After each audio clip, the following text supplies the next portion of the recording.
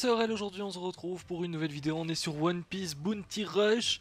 Ça fait un petit temps qu'on s'est pas retrouvé pour du One Piece Bounty Rush, alors c'est une vidéo parce qu'il y a eu une énorme mise à jour cette semaine. Bon, je sais que beaucoup de gens ont arrêté le jeu, euh, que ce soit en tant que vidéaste ou en tant que joueur même, hein, parce que bon, déjà qu'il n'y avait pas beaucoup de gens qui faisaient notamment des vidéos sur le jeu ou qui jouaient de base, mais là euh, c'est devenu bah, de pire en pire et...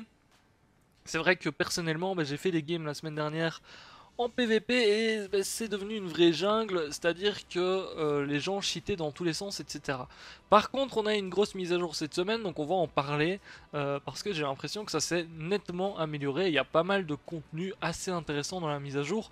J'avais envie d'en parler parce que je joue encore au jeu, euh, moins qu'avant, mais j'y joue quand même, enfin depuis hier notamment, j'ai vraiment repris au niveau du PVP, et je dois vous avouer que ça passe beaucoup mieux. On va checker ça ensemble du coup, et on fera peut-être une game PVP aussi derrière, histoire de... Alors vous allez voir que euh, je vais tout simplement me connecter au jeu pour la première fois depuis qu'il est 20h parce que euh, je veux voir les bonus de co avec vous. C'est vrai que. Comme ça on a la liste qui est complète ici. Bon, ça c'est le bonus de co euh, normal. Et ici on a du coup le bonus de connexion des 5 millions de téléchargements. Donc on peut voir qu'il y a pas mal de choses à récupérer, il y a pas mal de diamants. Je vous conseille de vraiment jouer durant les 5 millions de téléchargements parce qu'il y a une campagne exprès pour ça. Et notamment vous récupérez le Luffy ici euh, gratuitement. Donc euh, pour ceux qui ne l'ont pas, parce qu'il était disponible dans les premiers portails du jeu, mais si vous n'avez pas ce Luffy, euh, c'est le Luffy 30 millions de berry, hein, euh, si jamais donc c'est celui d'Alabasta, mais euh, pas celui où il est en tenue d'Alabasta.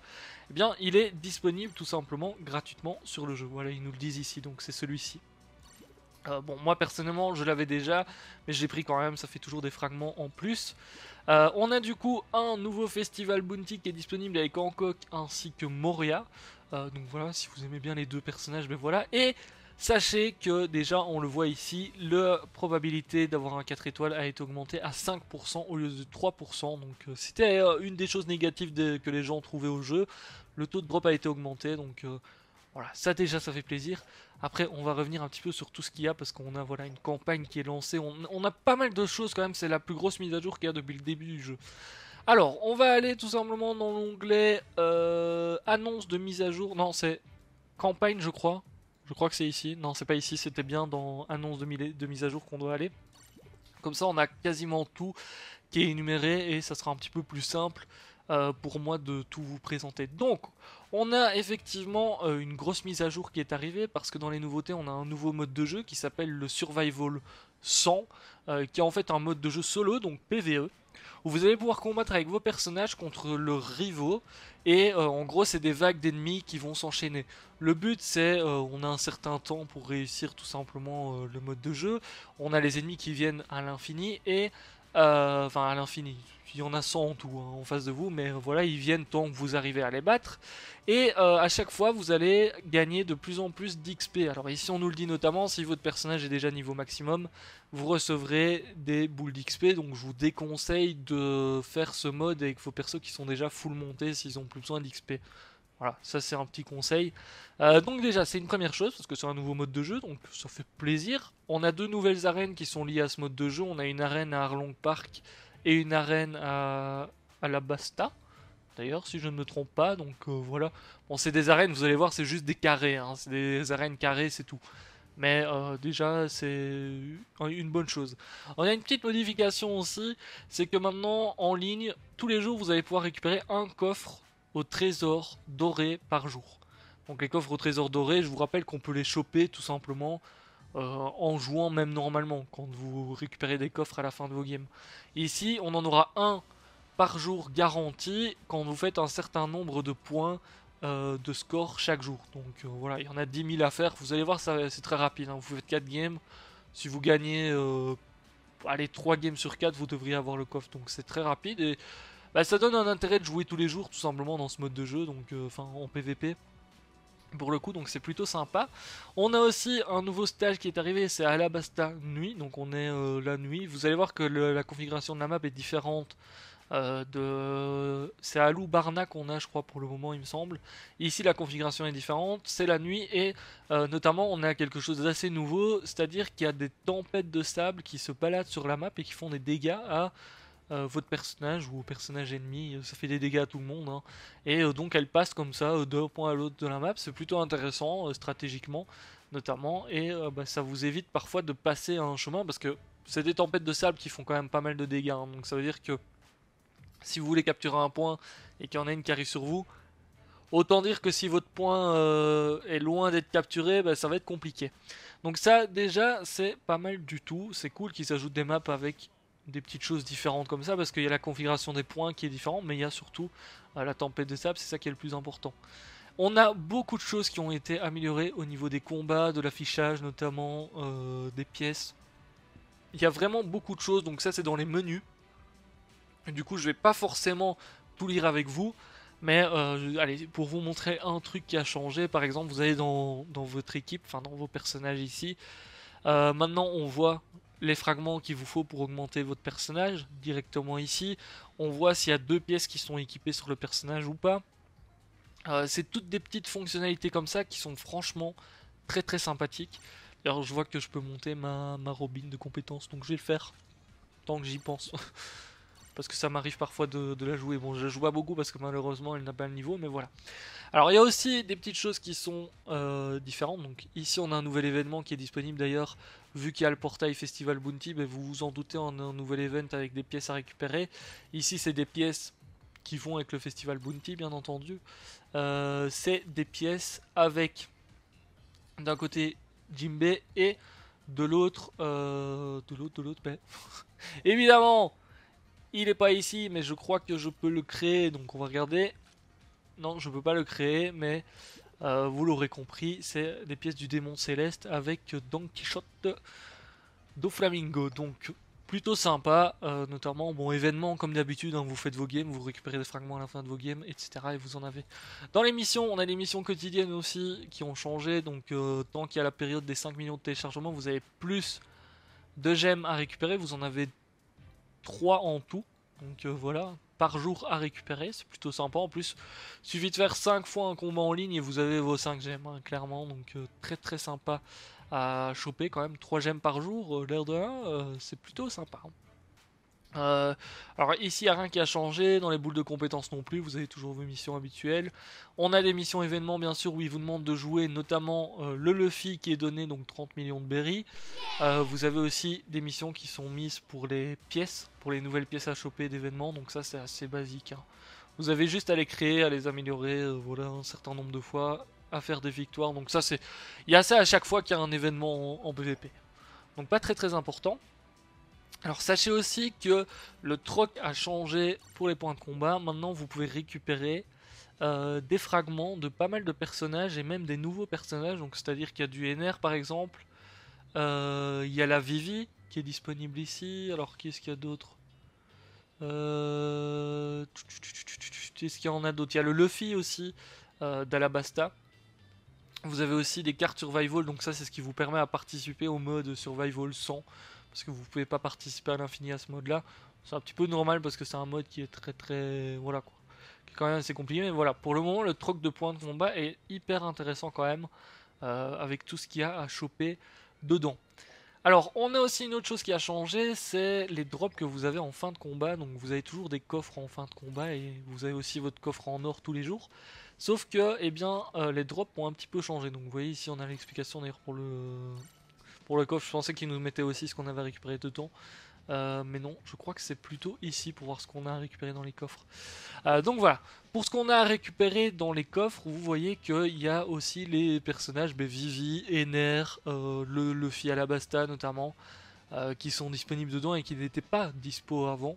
le Luffy 30 millions, je crois qu'il était déjà dispo avant, donc, donc voilà, mais il y a eu une petite amélioration par rapport à ça. Euh, ça change pour chaque rang, hein. donc euh, si vous allez en S+, ben, vous avez euh, des, récompenses différentes il me semble. Enfin, plus de taux de drop il me semble d'avoir tout ça et tout, et les récompenses de saison sont différentes, notamment. Donc ça, c'est déjà hyper sympa parce que ben, c'est plus facile de monter nos personnages pour le coup. On va pas se plaindre. Hein. c'est vrai qu'on discute beaucoup du côté pay to win du jeu, et c'est vrai que le côté pay to win est présent. D'ailleurs, le côté pay to win est toujours présent. Euh, si vous voulez, vous pouvez aller dans la boutique. Il y a plein de choses qui, ont, qui sont nouvelles maintenant. Euh, je sais plus, il y a, un truc, c'est un pass que vous vous connectez tous les jours et vous avez un petit peu de diamants et tout. Enfin, soit ça c'est pour ceux qui veulent le cash play, c'est pas forcément mon cas, donc je vous montre pas tout ça, je veux pas vous inciter à acheter. Mais euh, voilà, il y a vraiment pas mal de choses et je vous conseille de checker un petit peu parce que notamment moi je joue, je vais lancer une game PVP avec vous parce que bah, moi ce qui me dérangeait le plus c'était vraiment les cheaters en PVP. En soit que le jeu soit pay to win, bah oui, c'est chiant parce que tu peux pas monter si tu payes pas, enfin si tu payes moins que les autres, on va dire, ou si tu payes pas du tout, tu peux pas monter. Le souci, c'est que bah, avant, euh, à un moment donné, tu commences à avoir du mal à monter, justement pour ce côté pay to win. Le truc, c'est que ça fait quelques temps, il y avait des cheaters partout. C'est-à-dire que dans toutes tes games, t'avais un mec qui avait un speed hack, t'avais un mec qui était invincible, t'avais un mec qui te one-shotait tu sais pas pourquoi. Enfin, t'avais plein de choses comme ça. Et le souci, c'est que ben, même si t'étais dans ta ligue en soi où euh, tu, dois être, eh bien, tu galérais. D'ailleurs, vous voyez, on a les petits trucs ici, ça nous met le nombre de personnages fonceurs, défenseurs et tout dans l'équipe. Et les personnages contre qui on a l'avantage clignotent en face. Voilà, ça c'est la petite information. Ça fait partie des choses qui ont changé dans les menus, etc. notamment. Euh, et c'est vrai que c'était chiant parce que Personnellement, bah, sans payer, j'arrive à aller jusqu'au rang à peu près euh, B+, A-, on va dire. D'ailleurs, là, je suis à moins parce que j'étais descendu B+, carrément avec les cheaters et tout. Et le souci, c'est que, avec les cheaters qu'il y avait, en plus de ça, euh, même si tu arrivais au rang à peu près auquel tu dois être logiquement, parce que, voilà, avec les teams et tout ça que t'as, bah, tu continues à descendre parce que les gens en face, ils cheataient dans tous les sens. Parce qu'il y avait des speed hacks, parce que, où tu montais parfois, parce que t'avais un mec qui cheatait dans ton équipe. Et ça, c'est vraiment chiant. Alors je vais l'attendre lui parce que il, va venir directement et on va l'éclater. Hop, en plus il a utilisé sa petite roulade, ça c'était con. Oh bah, il a réussi à m'attaquer alors que je l'ai attaqué en même temps, très bien. Hop, on esquive son petit coup. Et boum, on lui fait ça. Bon par contre il a pas pris énormément de dégâts. Donc c'est pas très très grave. Oh bah d'ailleurs, euh, à mon avis, il doit pas avoir une cause stable ou c'est moi qui dois bugger parce que là, euh, les coups qu'on se prend parfois. Ouais, peut-être que c'est lui qui bug pour le coup. Bon bah, je vais vous montrer qu'il n'y a plus de cheater et puis je tombe contre un gars comme ça. Bon, ça c'est jouable, hein. c'est déjà mieux d'avoir un gars comme ça qu'un gars qui te one shot ou qui fait je sais pas trop quoi là. Ouais, là c'est juste qu'il y avait des bugs de co euh, de Louis ou de moi, je sais pas, ça arrive parfois. C'est comme sur tous les jeux en ligne, ça arrive. Par exemple, son Luffy fait énormément de dégâts. Donc on va... Hop là, le terminer comme ça. D'ailleurs, on a un petit ralenti maintenant quand on fait un chaos. Ça nous permet de voir un petit peu mieux euh, quand on tue et tout. Bon, ça fait partie des, changements graphiques. Je crois qu'il y a aussi des changements dans les emotes, etc. Euh, vous pouvez les changer, il me semble, maintenant. Enfin, je sais plus. Il y a des petites choses comme ça. Ok, il y a le NR qui vient de passer. On va capturer. Parce que je crois pas que le NR m'ait vu. Ouais, le NR m'a pas vu et moi j'aime bien capturer le point qui sont notamment sur cette map juste à leur spawn. Parce que derrière ils vont s'occuper de moi au lieu d'aller chercher mes coéquipiers pendant un petit moment. Donc c'est toujours sympa ça. Hop là, allez, vous prenez ça, vous. On va essayer qu'ils viennent un petit peu. Oh là, j'ai un Moria. Alors c'est la première fois que je tombe contre Moria, par contre je le vois pas souvent. Bon en même temps vous allez me dire c'est pas le... C'est pas le personnage qui te fait invoquer quoi. Il est gros quand même. ok, il attaque avec son ombre comme ça. par contre, il devrait capturer. Je crois qu'il croit qu'il a cliqué, sauf qu'il avait pas cliqué du tout en fait. Ok, on va essayer d'aller. Bah ok, bon, bah, mes coéquipiers se débrouillent bien tout seuls, hein. j'ai envie de vous dire. Je suis pas très très utile pour le coup. Donc n'hésitez pas à jouer aussi avec le faute Luffy, hein, parce qu'il y a des missions qui sont liées à lui. Et c'est vrai que c'est une mise à jour assez conséquente quand même. Et le jeu est un petit peu plus agréable à jouer. Ah ouais, il me semblait bien que j'avais attaqué trop tard malheureusement. Ouais. Malheureusement, contre un Shanks, c'est toujours compliqué. Parce que Shanks fait partie quand même des... Des, meilleurs personnages hein. Du jeu. Heureusement, on peut l'avoir facilement en 5 étoiles. Enfin, je suppose que maintenant, on peut encore l'avoir 5 étoiles à mon avis, parce qu'il doit être donné à tout le monde tout de même. Mais euh, voilà, pour vous montrer un petit peu... Habituellement, enfin la semaine dernière, je sais bien que j'ai essayé de faire euh, genre 5-6 games. 5-6 games, j'ai eu un cheater par game minimum à chaque fois. Hein. Il y avait des gens, ils s'amusaient à, avoir euh, un speed hack, donc c'est-à-dire qu'ils allaient super vite sur la map, ils faisaient tout ce qu'ils voulaient et tout. Et c'était très compliqué. Clairement, c'était très très compliqué. Donc ça fait plaisir que ça se soit un petit peu calmé. Je pense que c'est dû à la mise à jour. Ils ont dû déjà ban quand même des joueurs. Peut-être même mettre un petit anti-cheat. Ou alors c'est vraiment moi qui ai de la chance, mais euh, je pense pas que ce soit moi qui ai autant de chance que ça. Donc vous voyez, on a à chaque fois euh, des, des berries selon notre score qui sont donnés et euh, qui donnent eh bien, tout simplement accès au coffre en or quand on en a 10 000. Bon, c'est une fois par jour, hein, c'est juste histoire de garantir le truc. Je sais pas d'ailleurs pourquoi est-ce qu'ils font qu'une fois par jour. Mais bon, ça vous en garantit un si vous n'avez pas de chance dans vos 4 coffres bonus que vous avez euh, tous les je ne sais combien de temps, donc euh, voilà, c'est toujours sympa. Sur ce, bah écoutez, je vais vous laisser pour cette vidéo, je vous fais pas d'invocation, parce que bah, je n'ai pas assez pour invoquer tout simplement, j'avais tout simplement envie de vous faire une vidéo on parle un petit peu plus du jeu, parce que je trouve ça dommage que le jeu ait été aussi vite abandonné, après je comprends parce qu'il y a énormément de, enfin il y avait énormément de soucis, encore maintenant hein, il y a des soucis, et je suis d'accord, mais euh, disons que quand il y a une mise à jour qui est bien comme ça sort, et eh bien c'est bien de vous informer parce que parfois ça va peut-être vous donner envie de revenir un petit peu sur le jeu et voir ce que ça peut faire. Je vous conseille au moins de venir et de tester la nouvelle map parce que vous allez voir que bah, c'est un petit peu compliqué. Hein. Les premières fois où tu joues dessus et où il y a la tornade qui vient sur toi et que tu te la prends et que tu meurs, ouais, je faut avouer que ça change un petit peu les stratégies parce que tu peux pas aller sur la map là où tu veux et tout ça. Donc c'est toujours sympa. Sur ce, je vous laisse là, je vous dis à très très bientôt. Ciao, ciao